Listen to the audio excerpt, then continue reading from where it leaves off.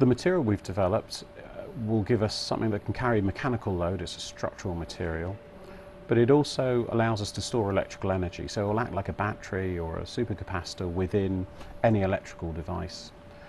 And we've done that by taking a conventional composite material, taking carbon fibres which are woven together into a, a cloth, putting a layer of glass in between which separates those electrodes and infusing a resin into that to make a structural material that also provides electrical energy and stores electrical energy.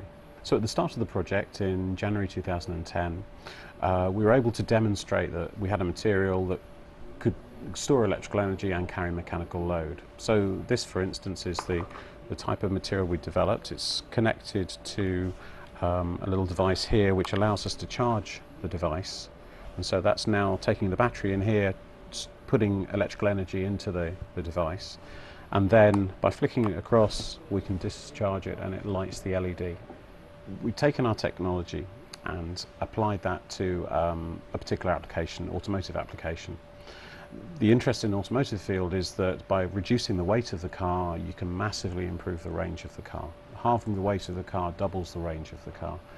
So choosing a material that does these two things simultaneously, stores energy that drives the car and also carries the mechanical load in the car, was seen as a real benefit for Volvo. Uh, who are interested in particularly in this technology and just to really to illustrate how it could be used and this is one of the many uh, concepts that could be looked at We've taken the roof of a car and we're putting our composite laminate onto that as, as, shown here. And in this demonstrator, there are no batteries in this, this car. So by using the battery that's in the charger, we can charge the device up, as, as shown here. But once it's charged, we just disconnect it and just by pressing the buttons there, we can see that we light the LEDs. The next level of where we're taking this is to go from these flat structures to looking at the effect of curvature and designing more realistic structures from this. So we're working with a high performance car company uh, looking at making components using our material and, and this is an example of such a component that we've made. So here we're looking at having a structure that's highly curved and demonstrating the material can still achieve what we're looking for.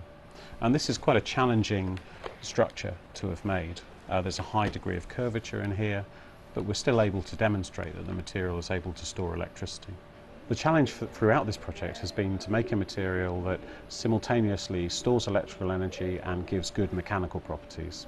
And that's always been a big hurdle that we've had, but we've now made a very big breakthrough. We've developed a very new material which gives us both those things at the same time.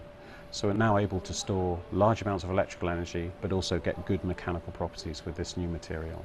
This technology is now very mature. We've got to a point where there's a wide range of applications we can apply this to. So ranging from structures for unmanned aircraft or um, for things like military drones, etc., to applications like casings for iPads or iPhones, safety devices, essentially anything where you need to store electrical energy and carry mechanical load. And uh, we're very excited about this. It's, it's fantastic new range of problems that we're having to think about and really unearthing new ground in materials development.